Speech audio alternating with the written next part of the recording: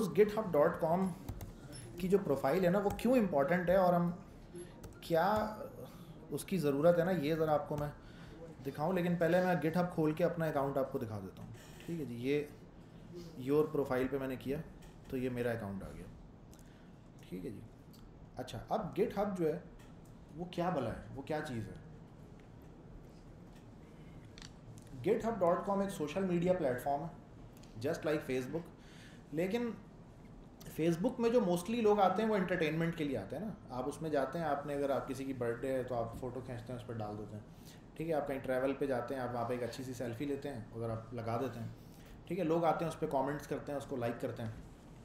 तो लेकिन वहाँ पर अगर कोई कोडिंग करता है तो वो अपनी कोडिंग फेसबुक पे अपलोड नहीं करता और ना ही वहाँ पे कोई कोडिंग को देखने आता है। है ना? कोडिंग देखने वहाँ पे कोई भी नहीं आता। ये जो बनाया है ना इन्होंने, ये ख़ास तौर पे सॉफ्टवेयर डेवलपर्स के लिए सोशल मीडिया प्लेटफॉर्म बनाया गया है, जहाँ पे क्या होता है कि जी, जो सॉफ्टवेयर डेवलपर जब कोडिंग करता है, जब सॉफ्टवेयर बनाता है, ज़ाहिर है किसी भी किस्म का सॉफ्टवेयर जब बनता है तो उसके लिए किसी ना किसी लेवल की कोडिंग मुझे दरकार होती है है ना? क्योंकि कंप्यूटर को अपनी बात समझानी है तो कंप्यूटर के ज़ुबान में आपको उसको लिखना पड़ेगा। तो उसको हम कहते हैं कोडिंग या प्रोग्रामिंग तो जब कोडिंग लिखा एक सॉफ्टवेयर बनाने वाले बंदे ने तो वो उसको यहाँ शेयर करता है। अच्छा इस जगह पे जो लोग आते हैं ना, वो एक दूसरे का कोड देखने आते हैं। ठीक है? तो यहाँ पे वो जिसको कोड देखना होता है, वो भी इधर आएगा और जिसने कोड शेयर करना है, वो भी इधर आएगा। वो फेसबुक पे नहीं जाएगा। अच्छा अब यहाँ पे कोड शेयर लोग जो करते हैं, वो क्यों करते हैं और जो देखने आते हैं, वो क्यों देखने आते हैं? जी, ये कोलेब्रेशन के लिए होता है। मिसाल के तौर पे अगर दो लोग एक ही सॉफ्टवेयर पे एक साथ काम कर रहे हैं तो गिट के ज़रिए उनके साथ कोलेब्रेशन करना बड़ा आसान होता है कि जी मैंने कुछ कोड लिख के इसके ऊपर अपलोड कर दिया मिसाल के तौर पे मैं एक वेबसाइट बना रहा हूँ अगर, ठीक है? तो मैंने एक पेज अबाउट का मैंने बना दिया और मैंने कहा कि जी एक पेज जो गैलरी का है ना, वो आप बना दें। एक बंदे को मैंने एक्सेस दे दिया, वो क्या करेगा इसका? अकाउंट बना सकता है। ठीक है? यहाँ पे लोग क्या करते हैं? कोलेब्रेशन करते हैं। कि जी, एक बंदे ने एक पेज बना दिया, दूसरे को कहा जी, आप दूसरा बना दो। तो जब बड़ी टीमें काम करती हैं, कि दस लोग, पंद्रह लोग, बीस लोग जब एक ही टीम में काम करते हैं, ठीक है, एक बड़े प्रोजेक्ट पे काम करते हैं तो उस, वो बगैर गिट हब के ना उस पर कोलेब्रेशन पॉसिबल नहीं है। वरना अदरवाइज़ क्या करेगा बंदा? यू में एक दूसरे को कोड शेयर करेगा। फिर उस कोड को आपस में मिलाना मर्ज करना दिस वुड बी हेडिक है ना? उसको आपस में मर्ज करने में कॉन्फ्लिक्ट्स आएँगे। एक ही पेज में दो बंदों ने एक जैसी जगह पे चेंज कर दिया तो वो कॉन्फ्लिक्ट्स आएँगे। तो उस कॉन्फ्लिक्ट को रिजॉल्व करने के लिए इन्होंने सारी जो तरतीब पहले से बनाई हुई है कि जी इस इस तरह ये काम होगा। अच्छा तो गिट हब अब कोई भी गोरा आपको काम देगा ना, जब आप फ्री में या किसी कंपनी में आप जाके जॉब करेंगे तो वो कोई एग्जिस्टिंग चलता हुआ प्रोजेक्ट है, जब आप उसके ऊपर लगेंगे, उस प्रोजेक्ट के ऊपर तो वो आपको ना गिट हब डॉट कॉम पर वो बोलेगा एक्सेस ले लो और उस पर काम करो। अच्छा अब अगर आपने ये बोल दिया ना कि गिट हब तो मुझे नहीं आती है तो फिर हो जाएगा मसला ख़राब ठीक है? गिट हब की इस वक्त वो वैल्यू हो चुकी है जो जैसे एक दर्जी है। अगर आ, वो कहे जी हाँ जी मैं दर्जी हूँ लेकिन जब सिलाई मशीन चलाने की बारी है तो बोले यार सिलाई मशीन तो मुझे चलाना नहीं आती है बाकी मैं सारे काम कर लेता हूँ। ठीक है? तो ये उसके दर्जी होने पे सवालिया निशान है कि अगर उसको सिलाई मशीन चलानी नहीं आती है तो वो दर्जी कैसे है फिर? है ना? तो इसी तरह अगर किसी को गिट और गिट हब नहीं आता है तो उसके सॉफ्टवेयर डेवलपर होने पे ये सवालिया निशान है। क्योंकि सारा काम होता ही गिटहब के ऊपर सही है कोड की जो कोलेब्रेशन होती है, वो सारी गिटहब के ऊपर होती है। कोई आप फ्रीलांस पे कोई काम पकड़ेंगे, कोई प्रोजेक्ट पकड़ेंगे, बावजूद इसके कि आप फ्रॉम स्क्रैच बना रहे हैं तो वो क्लाइंट आपसे बोलेगा कि मुझे आपने जो कोड डिलीवर करना है ना कोडिंग जो मुझे आपने भेजनी है, वो गिटहब के ज़रिए भेजनी है। वो मुझे यूएसबी में या जिप करके मुझे नहीं चाहिए। ठीक है तो ये बहुत इंपॉर्टेंट है। तो इसीलिए हम पहले दिन इस पर ज़रा अपना हाथ सीधा कर लेते हैं और थ्रू आउट द कोर्स जितने भी हम टास्क बनाएँगे तो वो सारा टास्क यहाँ पे मुझे सबमिट करवाया करेंगे, ठीक है ना? अच्छा जैसे कि आप देखें, ये मैंने जो कोडिंग जितनी भी, यहाँ पे एक चार्ट बना हुआ पूरा आ रहा है। अब जितनी भी मैंने कोडिंग की है ना यहाँ पे, आप देखें, ये बता रहा है कि जी मंडे सात अगस्त को जो है ना, मैंने छः कॉन्ट्रीब्यूशन की, यानी छः दफ़ा कुछ डाला है इसके ऊपर मैंने। या छः पोस्ट डाली है, आप समझ लो फेसबुक की ज़ुबान में अगर मैं बात करूँ तो। और ये 2015 में मैंने प्रोफ़ाइल बनाई थी ना 2015 पे क्लिक करता हूँ मैं तो 2015 2016 2017 18 ये एक अल्टीमेट क्रेडेंशियल है। अच्छा मैं वैसे मुँह से बोल दूँ भाई, मैं तो 10 साल से प्रोग्रामिंग कर रहा हूँ तो इसका क्या सबूत है? कोई सबूत है? नौकरी तो मैंने कभी की नहीं है। जॉब करता कहीं तो उसका कोई होता है एक्सपीरियंस और वो भी दो नंबर बन जाता है। क्योंकि मैंने छोटी सी कंपनी रजिस्टर की भी वो सारे दोस्त कहते हैं कि वो मुझे ना लेटर चाहिए, मुझे लेटर बना के दो। तो क्या कहते हैं, हमें वीज़ा वो फॉर्म पे लगाना है तो कोई कह रहा है, हमें पता नहीं कहीं जमा करवाना है। जॉब में तो वो लेटर लोग मांगते रहते हैं। तो वो तो लेटर आपको कोई भी बना के दे देगा, है ना? अब वो कम, किसी भी रैंडम कंपनी के नाम से कोई लेटर बनाना कोई मुश्किल काम है क्या? तो वो तो उसकी कोई क्रेडिबिलिटी नहीं है, उस लेटर की। अब वो उस लेटर से क्या करता रहा है अंदर उस कंपनी में तो वो तो नहीं पता। उस पर जस्ट लिखा होता है कि जी छः महीने हमारे पास था। क्या करता रहा है, ये नहीं लिखा होता। ये ज़्यादा से ज़्यादा ये लिखा होगा अच्छा जी वेब डेवलपमेंट के किसी शोबे में ये था छः महीने हमारे पास तो उसकी तो कोई वैल्यू नहीं होती, है ना? तो लेकिन ये अल्टीमेट क्रेडेंशियल है। अब आप देखें, ये ट्यूसडे सितंबर चार, दो हज़ार अट्ठारह को मैंने तेरह कॉन्ट्रीब्यूशन किया वो क्या किया मैंने? वो देखें, यहाँ पे आ रहा है। Dialogflow V two actions on Google पे कुछ कर रहा था मैं। एक रिक्वेस्ट करके एक लाइब्रेरी रिक्वेस्ट इन जी अपने नाम से एक लाइब्रेरी बना रहा था। ठीक है, दो कमेंट मैंने इस पर किए, ग्यारह कमेंट इस पर किए। ठीक है जी। फिर उसके बाद अगस्त के अंदर मैंने टोटल चालीस कमेंट किए। चालीस पोस्ट किए मैंने पूरे अगस्त के महीने के अंदर ठीक है ना, दो हज़ार अट्ठारह में। नौ रिपोजिटरीज़ में किए कौन सी जी एक्सप्रेस पढ़ रहा था मैं। टाइप स्क्रिप्ट के साथ एक्सप्रेस पढ़ रहा था, दो हज़ार अट्ठारह में। है ना? एम क्यू टी टी पे कुछ काम किया मैंने। ओ ऑथ का कोई एग्ज़ाम्पल बना रहा था। डायलॉग फ्लो वी टू पे कुछ काम कर रहा था। अब ये डायलॉग फ्लो वी टू पर मैं क्या कर रहा था? ये आप जाके अंदर देख भी सकते हैं इसके। है ना? ये आ गया। वो पूरा कोड आ गया। ये फ़ंक्शन आ गया। ये सोर्स आ गया। और ये एक्चुअल अंदर की टाइप स्क्रिप्ट की फ़ाइल आ गई। ये कोड मैंने लिखा था कब? 2018 में जो भी डेट मैंने बताई थी। तो ये एक अल्टीमेट क्रेडेंशियल है। इसको कोई भी झुटला नहीं सकता इस क्रेडेंशियल को ना। कि आपका पूरा का पूरा कोड वो पब्लिक है और कोई भी उसको जाके आपकी प्रोफ़ाइल के ऊपर देख सकता है। तो फिर उसमें वो आपका वो इतना अल्टीमेट क्रेडेंशियल है उसको कोई जुटला नहीं सकता। आ, या तो अगर ये हो ना कि मैंने आज से शायद 2018 में मैंने ये प्लान किया हो पहले से ही कि यार 2023 में जाके ना मैं पेशावर में एक क्लास पढ़ाऊँगा तो उनको मैं दिखाऊँगा ये ये तो हो नहीं सकता। क्योंकि फ्यूचर तो किसी को मुझे क्या पता था? मुझे तो जिस दिन यहाँ आना था, उससे तीन चार दिन पहले तक भी नहीं पता था कि यहाँ मैंने आना है। गजाल भाई ने मुझे एन मोमेंट पर फ़ोन किया कि जी, कल शाम की आपकी टिकट है, आपने पिशावर जाना है। और वो पहली फ़्लाइट भी मैंने मिस कर दी थी, जिस दिन आपका एंट्री टेस्ट था। तो मैंने मिस कर दी थी, फिर वो जल्दी जल्दी दूसरी मैंने बुक की। तो मुझे तो दो तीन दिन पहले तक नहीं पता था। मुझे तीन चार साल पहले कहाँ से पता होता। तो ये अल्टीमेट क्रेडेंशियल है, इसी तरह थ्रू आउट द कोर्स जो हम छोटे छोटे टास्क बनाएँगे, वो आप इसमें सबमिट करेंगे और आज से छः महीने बाद छः महीने का क्योंकि आपका ये कोर्स होगा इन तो आज से छः महीने बाद जब ये कोर्स आप कंप्लीट करेंगे तो आपके पास यहाँ पे सौ से ज़्यादा टास्क होने चाहिए और चलते हुए टास्क होने चाहिए, उसका कोड भी यहाँ पे मौजूद होगा, वो चलता हुआ भी यहाँ पे दिख रहा होगा। तो आप जब कहीं पे जाएँगे ना किसी से नौकरी पकड़ने या फ्रीलांस पे काम पकड़ने या कहीं इंटर्नशिप करने, है ना, किसी प्रोजेक्ट में हिस्सा लेने जाएँगे तो वहाँ पे आपका जो इंटरव्यू होगा, वहाँ पे आपकी जो क्रेडिबिलिटी को चेक किया जाएगा तो ये अल्टीमेट क्रेडेंशियल आप वहाँ पे शो करेंगे, ठीक है? और जो दूसरा बात ये कि वो तो गिटहब के बगैर वैसे भी डेवलपर डेवलपर नहीं कहला सकता। तो ये रीज़न है, हमने इसको जो है ना, सबसे पहले एक्सप्लोर करना है। अच्छा क्या है जी ये गिट हब रेपोजिटरीज़ के सेक्शन में मैं आ जाता हूँ। मैंने क्या किया मैंने ये ओवरव्यू को चेंज करके रेपोजिटरीज़ के सेक्शन पे लाके क्लिक कर दिया ठीक है? तीन सौ बावन रेपोजिटरीज़ पहले से जो बनी हुई हैं, वो ये शो कर रहा है। ठीक है? अभी सेक्शन ए वालों को मैंने पढ़ाया है, आप, अब आपको पढ़ा रहा हूँ मैं ये। अच्छा यहाँ पे आके मैंने एक नई रेपोजिटरी बना देनी है ग्रीन कलर का बटन है। है ना? इस पर मैं क्लिक करूँगा, इस ग्रीन बटन पे तो ये क्रिएट न्यू रेपोजिटरी का एक फॉर्म खुल जाएगा। अच्छा रेपोजिटरी को आप इस तरह समझे कि एक फ़ोल्डर है ये। रेपोजिटरी को आप इस तरह समझें कि ये एक फ़ोल्डर आपने बना दिया है। और इस फोल्डर के अंदर हम तमाम की तमाम जो कोडिंग करेंगे, वो हम अल्टीमेटली इस फोल्डर के अंदर डाल रहे होंगे। अच्छा इस फोल्डर का नाम क्या रखा जाए? ठीक है, नाम, मेरा ख्याल है कि हम सिमिलर नाम रखते हैं। ये वाला ही नाम रख के ना, इसमें सेक्शन सी में लिख देता हूँ साथ में। है ना? क्रिएट किया मैंने। और ये मैंने इसमें लगा दिया सेक्शन सी ठीक है? सेम नाम रख दिया मैंने, जो उनकी रिपोजिटरी है, वही आपकी भी है जस्ट सेक्शन का फ़र्क कर दिया। अच्छा ये नाम मैंने, ये नाम आप कुछ भी लिख सकते हैं, जो आपका दिल करे। ये कोई भी नाम आप इसके अंदर लिख सकते हैं। अच्छा ये नाम लिख दिया मैंने, अब इसके बाद मैंने क्या करना है, मैं इसमें से डैशेज हटा रहा हूँ, जिसमें डैशेज आए हैं।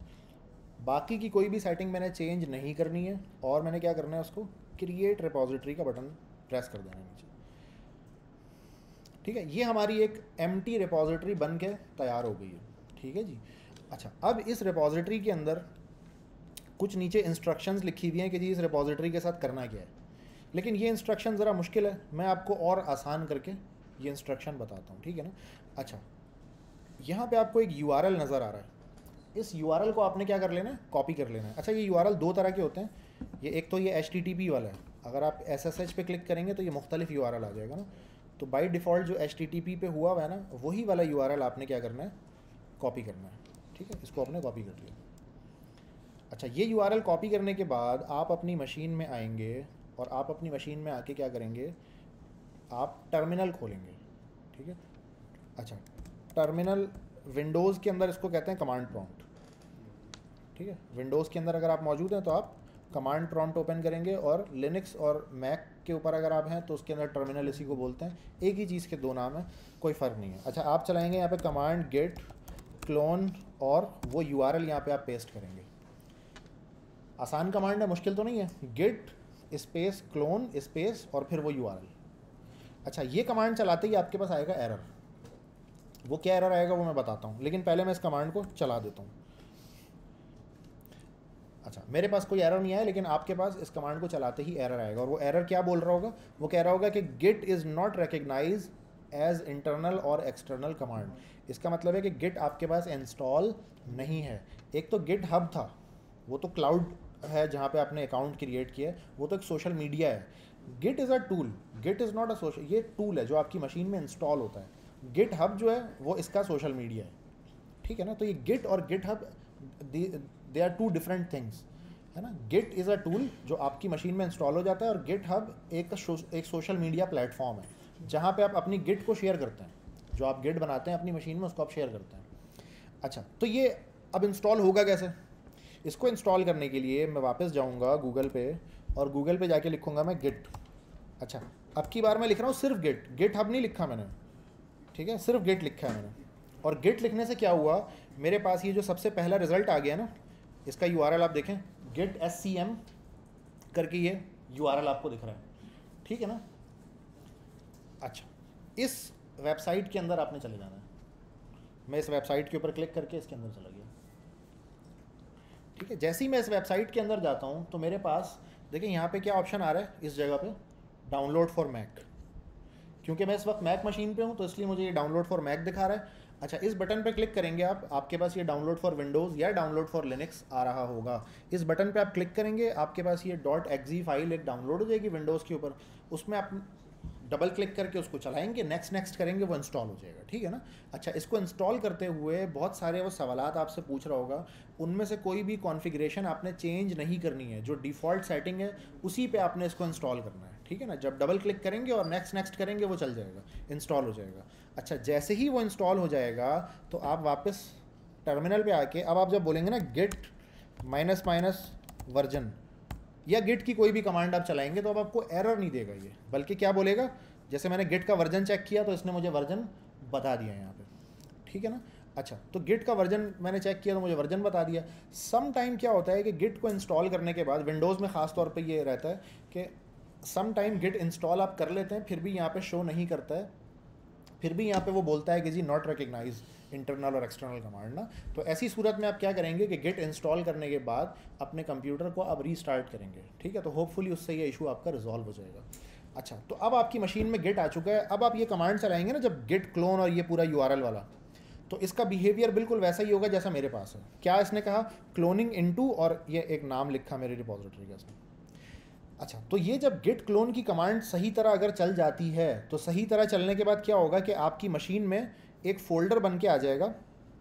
इसी नाम से। अच्छा मैंने ये गलत जगह चला दिया वैसे कमांड मैंने सी डी करके पहले डेस्कटॉप पे आना था। ठीक है? क्योंकि मैं, जब टर्मिनल खुलता है बाय डिफ़ॉल्ट तो वो डेस्कटॉप पे नहीं होता तो ये मैंने डेस्कटॉप पे आना था। तो मैं डेस्कटॉप पे आ जाता हूँ और मैं अगेन ये कमांड चलाता हूँ दोबारा। ठीक है? अच्छा ये पुरानी कमांड कैसे मैं वापस ला रहा हूँ? एरो अप का बटन दबा रहा हूँ तो पुरानी कमांड वापस आती है। हिस्ट्री बनती है, ठीक है? तीनों ऑपरेटिंग सिस्टम में ये सपोर्ट होता है। तो मैं ये गिट क्लोन ये दोबारा चलाता हूँ एंटर करता हूँ। अब की बार मैं इस वक्त डेस्कटॉप के ऊपर खड़ा हूँ। तो डेस्कटॉप के ऊपर आप देखें, ये बन के आ गया फोल्डर ठीक है? जिस नाम से रिपोजिटरी मैंने गिट हब डॉट कॉम पर बनाई थी, ये वही रिपोजिटरी उठ कर पूरी की पूरी यहाँ पर आ गई है। ठीक है? अच्छा इसको लेकिन हम, ये तो फोल्डर है ना? इसको रिपोजिटरी क्यों कह रहे हैं हम? इसको हम रिपोजिटरी ही कहा करेंगे। ये ये कोई आम फोल्डर नहीं है। ये गिट की रिपोजिटरी है। ठीक है? अच्छा अब वो कौन सी ऐसी चीज़ है जो एक आम फोल्डर को गिटहब की रिपोजिटरी बना देती है? वो कौन सी चीज़ है? जो इसको ओपन करके हम उस चीज़ को देखते हैं ज़रा। अब आप देखें, ये फ़ोल्डर जो मैंने इस वक्त ओपन किया ना, ये इस वक्त खाली है। अब आप देखें, अगर ये मैं इस फोल्डर में जाता हूँ तो यहाँ कुछ आ रहा है। इसमें जा रहा हूँ तो तो भी कुछ आता है। यहाँ जाता हूँ तो ये खाली आता है। क्योंकि अभी जो मैंने रिपोजिटरी क्लोन की है वो रिपोजिटरी बाई डिफ़ॉल्ट खाली है। वो अभी अभी बनाई गई रिपोजिटरी है वो एक खाली रिपोजिटरी है। अच्छा जब यहाँ पे मैं हिडन फाइल्स को शो करता हूँ ना यहाँ पे मुझे एक डॉट गिट करके छोटी सी चीज़ ये नज़र आ जाती है। है ना? ये वो छोटा सा गिट का आ, ये छोटा सा गिट है वो जो इस रिपोजिटरी इस एक आम फोल्डर को रिपोजिटरी बना देता है। अच्छा इस गिट के फोल्डर के अंदर बहुत कुछ है लेकिन इसको आपने कभी भी छेड़ना नहीं है। इस गिट के फोल्डर को ना ही आपने ओपन करना है, ना ही आपने इसमें कोई चेंजेस करनी है और ना ही आपने इसको डिलीट करना है। क्यों? कि इसको जो है ना गिट खुद मैनेज कर रहा होता है। ठीक है? इसके साथ क्या करना है, वो गिट को खुद पता है और वो सिस्टमेटिकली खुद से सिस्टम कर रहा होता है। आपको इसमें कोई हाथ से चेंजेस नहीं करनी है। अगर आप इसको चेंजेस करेंगे इसके अंदर तो वो फिर एरर आते रहेंगे आपके पास, ना, उसकी वजह से। अल्टीमेटली आपको एक नई रिपोजिटरी शायद बनानी पड़े। अच्छा तो इसको मैं वापस क्या कर देता हूँ? हिडन फ़ाइल को वापस गायब कर देता हूँ। ठीक है मैंने शॉर्टकट से हिडन फ़ाइल शो की थी, आपके पास विंडोज़ के अंदर व्यू में जाके शो हिडन फ़ाइल का एक ऑप्शन आ रहा होता है। अच्छा ये बात समझ आ गई सब लोगों को?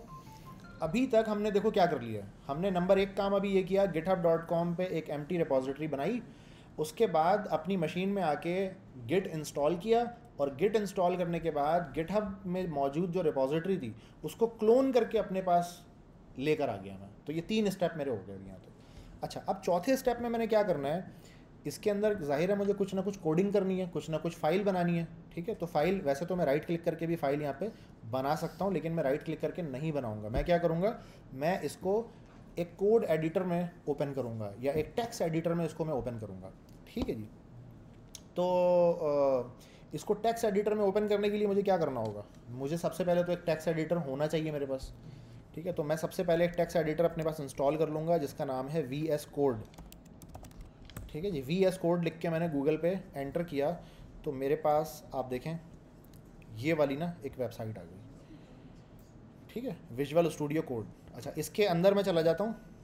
अच्छा विजुअल स्टूडियो और विजुअल स्टूडियो कोड ये दो अलग अलग सॉफ्टवेयर हैं। आपने कौन सा करना है? विजुअल स्टूडियो कोड ठीक है, यहाँ पे देखें, मेरे पास आ रहा है डाउनलोड फॉर मैक यूनिवर्सल आपके पास ये आएगा डाउनलोड फॉर विंडोज़ ठीक है, अगर ना आए तो उसको आप ओपन करके ना, ये विंडोज़ के लिए दो आ रहा है। सही स्टेबल वाला आपने डाउनलोड करना है। आप इस पर क्लिक करेंगे तो ये स्टेबल वाला डाउनलोड हो जाएगा। अच्छा इसके साथ भी आपने ऐसा ही करना है। जब डाउनलोड होगी एक्जी फ़ाइल डबल क्लिक करना है आपने नेक्स्ट नेक्स्ट करना है, किसी किस्म की कन्फिग्रेशन को चेंज नहीं करना।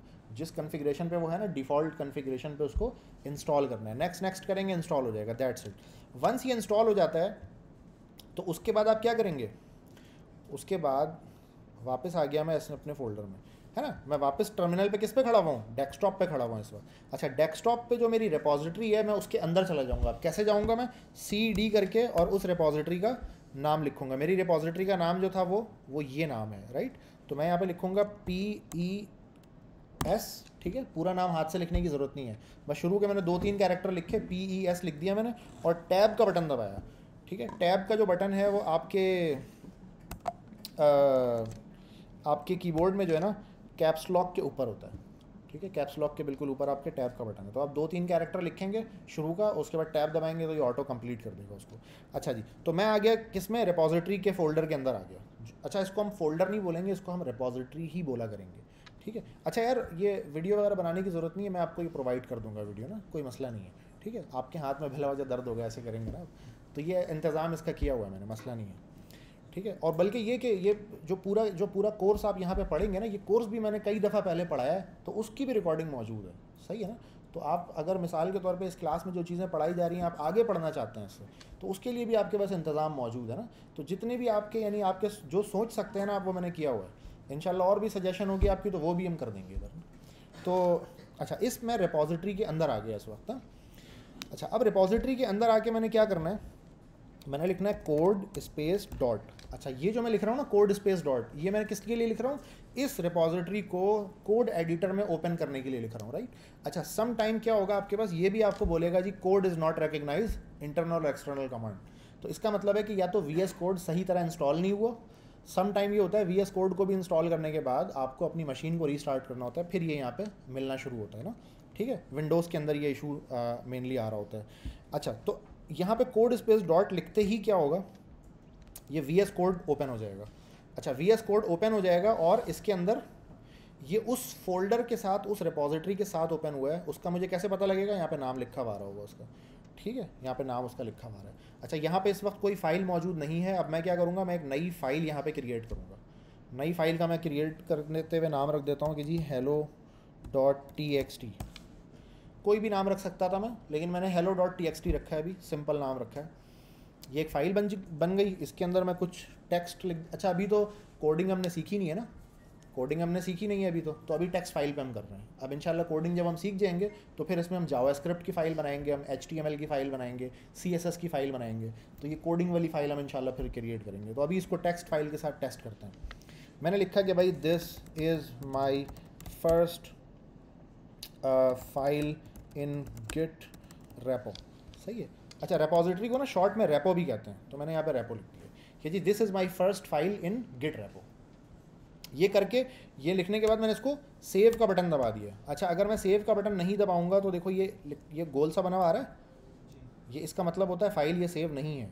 तो आप जैसे ही कंट्रोल एस दबाएँगे, ये गोल वाला गायब हो जाएगा। ठीक है ना? इसका मतलब है कि अब ये फ़ाइल सेव हो चुकी है। तो आपने मेक श्योर करना है कि ये फ़ाइल आपकी सेव है। उसके बाद ही आपने आगे की कमांड्स चलानी है। अच्छा जी तो अभी तक हमने क्या कर लिया? गेट हब डॉट कॉम पर एक नई रिपोजिटरी बनाई उसको अपनी मशीन में क्लोन करके लेकर आए और उसके अंदर एक नई फ़ाइल क्रिएट कर दी उसके अंदर। अब हमने आखिरी काम ये करना है कि ये जो ये जो नई फ़ाइल क्रिएट हो गई है मेरी रिपोजिटरी के अंदर इस पूरी रिपोजिटरी को वापस मैंने गिट हब डॉट कॉम पर भेजना है। ठीक है? तो अब ये काम करने के लिए मैं वापस आ जाऊँगा अपने टर्मिनल पर और टर्मिनल पे मैंने किस जगह पे खड़े होकर ये कमांड चलानी है? अपने रिपोजिटरी वाले फोल्डर में। जो मेरी रिपोजिटरी है, उसके अंदर। अगर आप बाहर ये कमांड चलाएँगे, काम नहीं करेगी। कोई ना कोई एरर देगी वो। अच्छा अब इसके अंदर मैंने इसको क्लियर पहले तो कर लेता हूँ मैं। क्लियर करके सारी मैंने ये, जो पहले की लिखी हुई चीज़ें थी, सबको रिमूव कर दिया। अच्छा अब यहाँ पे मैं जो कमांड चला रहा हूँ ना, वो तीन कमांड है, जिसके ज़रिए मैं उसको वापस कॉम पर पुश करूँगा। नंबर एक कमांड है गिट एड डॉट ठीक है? कोई एरर नहीं आया तो इसका मतलब है ठीक हो गया। उसके बाद है गिट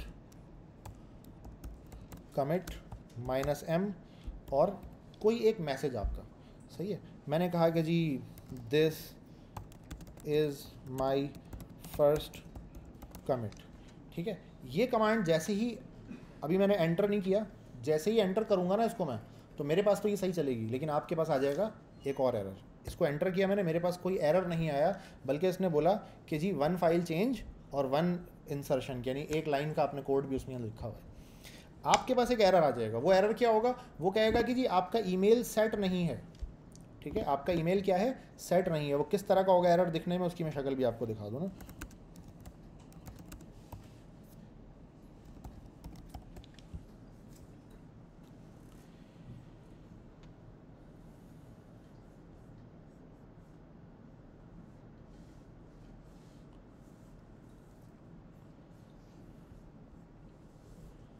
उसकी अगर मैं यहाँ शक्ल दिखा सकूँ आपको।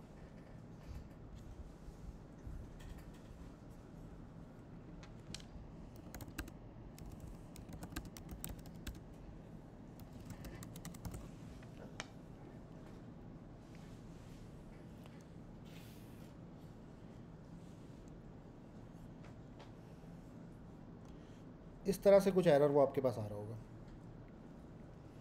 ठीक है? ये आपसे कहेगा कि please tell me who you are और फिर आपसे ये क्या कह रहा है? कहेगा कि रन दीज टू कमांड्स ये दो कमांड इसने बताई है git config minus minus global user dot email ये पूरी कमांड आप ना ये, ये एक दफ़ा में एक कमांड चलाएँगे उसके बाद इसके नीचे वाली कमांड आप दूसरी दफ़ा में चलाएँगे.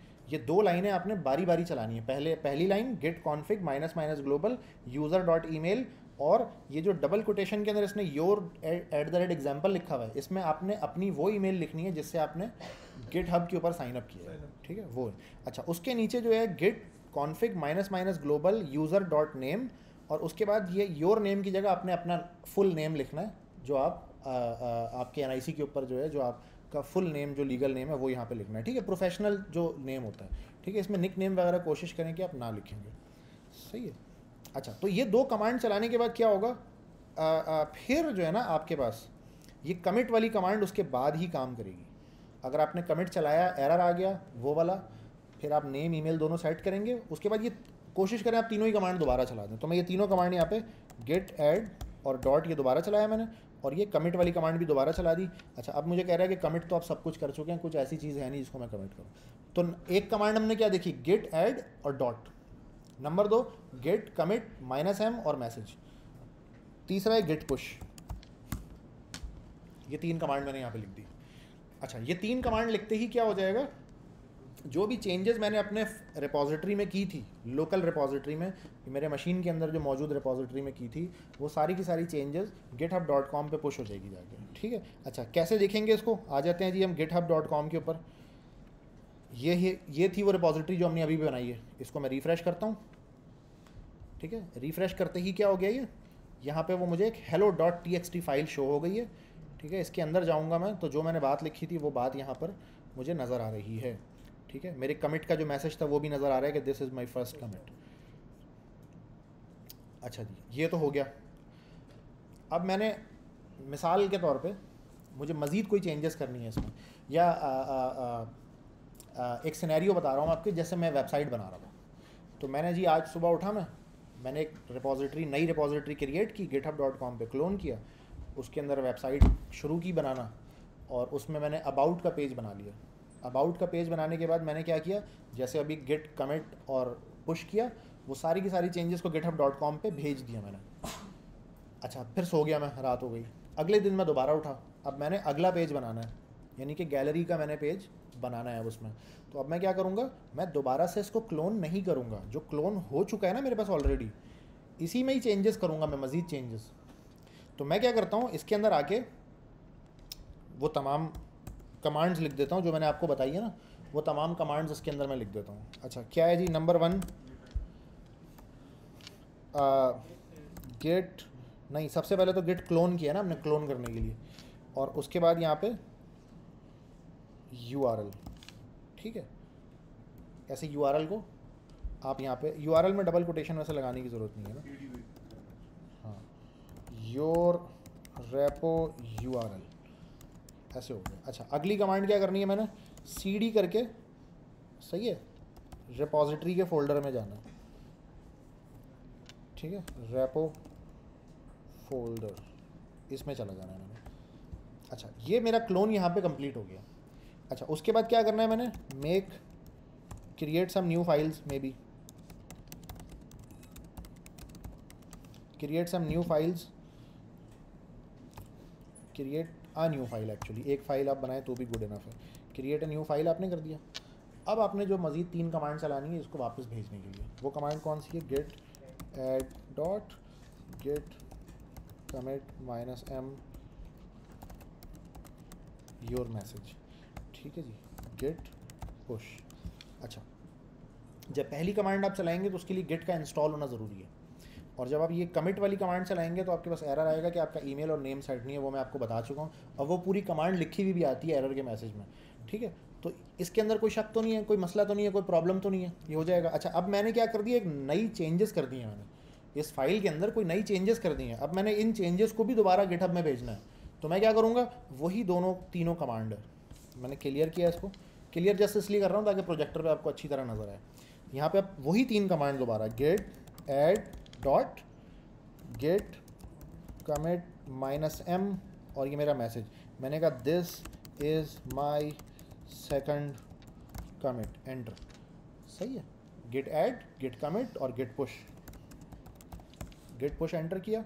तो इसने बोला कि जी वो सारी चीज़ें मैंने भेज दी हैं यहाँ से। वापस आके मैं इसको यहाँ पे रिफ़्रेश करता हूँ। तो आप देखें यहाँ पे अब क्या हो चुकी है? अब यहाँ पे दो कमिट हो चुकी है। जो पहले एक कमिट थी, अब दो हो चुकी है। मैं हेलो डॉट टेक्स्ट के अंदर जाता हूँ तो यहाँ पे वो सारा का सारा कोड भी पहुँच चुका है, जो मैंने फ्रंट एंड से लिखा था। ठीक है? अब मैं कोई नई फ़ाइल बनाऊँ, कोई फ़ाइल डिलीट करूँ, किसी फ़ाइल के कंटेंट को चेंज करूँ, मैं जब जब कोई चेंज करूँगा, मैं उसको दोबारा से कमिट करूँगा। अच्छा अब commit how often should you commit है ना? कि कितनी जल्दी जल्दी आपने कमिट करना है? क्या हर दो लाइन लिखने के बाद कमिट करूँ? नहीं, ऐसा नहीं है। आम तौर पे प्रैक्टिस ये होती है डेवलपर्स की कि जब वो एक फंक्शनैलिटी कंप्लीट कर लेते हैं तो वो एक कमिट बनाते हैं उसको। जैसे मैंने मिसाल दी थी वेबसाइट बनाने की, कि अगर मैं एक वेबसाइट बना रहा हूँ, मैं अबाउट का पेज मैंने पूरा कर लिया, मुकम्मल कर लिया तो मैं उसको एक कमिट बना दूँगा। ठीक है? फिर इसी तरह मैं अगला पेज बनाऊँगा तो उसको एक कमिट बना दूँगा। ठीक है? मिसाल के तौर पर फिर अबाउट के फॉर्म पर मैंने एक कॉन्टैक्ट का फॉर्म भी बना दिया, कि जी यहाँ पर लिख के आप हमें मैसेज भेजें।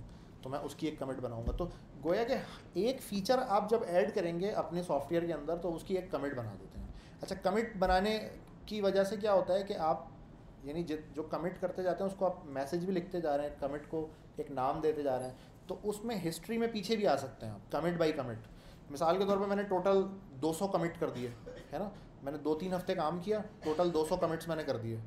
अब मैं अगर चाहता हूँ ना कि कमिट नंबर एक पे मेरा कोड जो था वो कैसा था तो मैं हिस्ट्री में पीछे आके उसको देख सकता हूँ, है ना? यहाँ पे मैं, देखो, यहाँ पे भी एक ऑप्शन आ रहा होता है। वैसे तो इसके और एडवांस तरीके हैं, लेकिन जो बेसिक्स है, वो मैं अभी करके भी दिखा देता हूँ। जैसे मेरे पास ना टोटल दो कमेंट है इस वक्त। ये देखो यहाँ पे निशान भी बना हुआ है हिस्ट्री में पीछे जाने वाला ना टाइम और बैक बना हुआ है। कमिट के ऊपर मैंने क्लिक किया, मुझे लिस्ट दिखा देगा। ये मेरी दो कमिट है इस वक्त यहाँ पे ना। अच्छा कमिट नंबर वन जो था, उसमें फ़र्स्ट कमिट था कमिट नंबर टू में ये था। तो मैं फ़र्स्ट कमिट में जाके देखना चाहता हूँ, अगर कि मेरा कोड यहाँ पे कैसा था तो इसके आगे ना देखो, एक बटन आ रहा है। बटन पे क्या लिखा हुआ है? Browse repository at this point in history मैं इस पर क्लिक करूँगा ना तो मैं रिपोजिटरी का वो पॉइंट विज़िट कर सकता हूँ जब हेलो के अंदर सिर्फ़ एक लाइन लिखी हुई थी। ठीक है ना? वेल well, अब ये जस्ट मैंने आपको समझाने के लिए बताया इस पर भी ज़्यादा गौर करने की ज़रूरत नहीं है। गौर आपका जो मेन काम अभी आपने करना है वो क्या करना है? गिट हब डॉट कॉम पर एक नई रिपोजिटरी बनानी है और उसको क्लोन करना है। उसमें कुछ चेंजेस करके वापस गिट हब डॉट कॉम पर पुश करना है। ठीक है ना? अच्छा ये सब आप लोगों ने अभी करना है। ठीक है? आपके पास अभी है एक घंटे का टाइम है पूरा आपके पास। ठीक है? छः बजे आपकी क्लास ख़त्म होती है ना चार से छः आपकी टाइमिंग है। तो एक घंटा आपके पास है पूरा मौजूद तो आप सब लोगों ने अभी ये काम करना है। हो जाएगा आराम से? अच्छा जितनी मैंने बात बताई इसमें किसी का कोई सवाल है तो वो मुझसे पूछ सकता है अभी ना। हाँ ईमेल कनेक्ट करते हैं वो तो आप आ जाएगा ना जब एरर आएगा ना आपके पास वो ये था। वो ये पूरी कमांड ऐसे वो लिखी हुई खुद ही आ जाएगी एरर के मैसेज में ठीक है ना? अच्छा। अब ये जो मेरी रिपोजिटरी है, ये पब्लिक रिपोजिटरी है ना? राइट यहाँ पे क्योंकि मैंने कमांड्स लिख दी है ना आपके लिए। ये कमांड्स मैंने आपके लिए लिखी हैं, ताकि आप इसको क्या कर सकें? आप यहाँ पे आके इसको देख सकें।